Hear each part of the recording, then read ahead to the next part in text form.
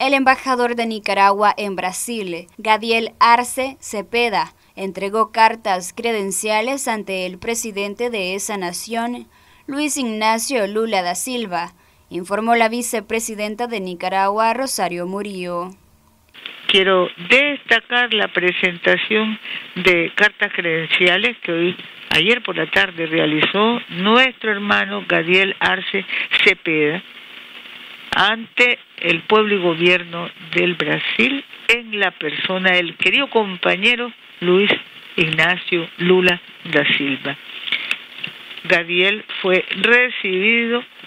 en el área de ceremonial diplomático y trasladado a los salones donde presentó ante el pueblo y gobierno de Brasil, ante el compañero presidente Luis Ignacio Lula da Silva,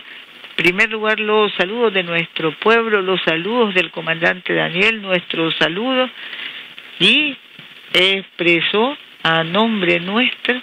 el cariño, el respeto, el reconocimiento a Lula, a su gran pueblo. El presidente envió cordiales saludos a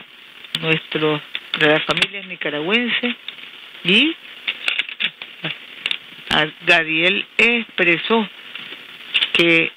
desde su trabajo como embajador en Brasil va a contribuir día a día a fortalecer los vínculos, los vínculos históricos que nos unen como pueblos en lucha. Para Noticias 12, Luisa Centeno.